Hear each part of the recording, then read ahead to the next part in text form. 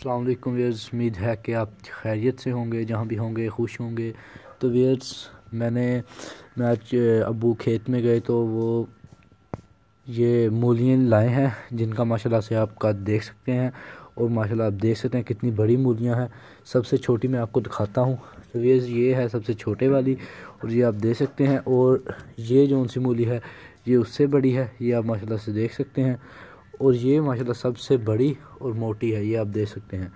Wears ये आप देख सकते हैं माशाल्लाह से कितनी बड़ी है और ये हमने अपने खेतों में, ये मूलियाँ जो उनसी हैं, ये हमने अपने खेतों में खुद लगाई हुई हैं।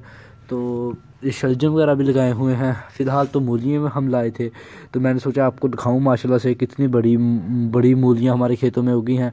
तो इन अगली बार जब भी शलजम वगैरह हम लाए वो भी आपके साथ शेयर करेंगे और और भी मूली वगैरह शेयर करेंगे, ये आप देख सकते हैं, माशाल्लाह से। सबसे अब तक की सबसे बड़ी हमने ये भी मूली निकाली है और ये आप देख सकते हैं, माशाल्लाह से। शायद इससे भी बड़ी हों, लेकिन ये कच्ची मूली है, अभी पकी नहीं है, ये माशाल्लाह बहुत ही खूबसूरत है आप देख सकते हैं। तो वेयर्स मुझे उम्मीद है कि आपको वीडियो अच्छी लगी होगी। ऐसी काफ़ी ऐसी और भी वीडियोस लेने के लिए मेरे चैनल को सब्सक्राइब करना मत भूलिएगा और बेल आइकन के बटन को ज़रूर प्रेस करें ताकि हमारी हर आने वाली वीडियो आप तक पहुँच सके। तो ये आज के लिए इतना ही। अल्लाह हाफिज़।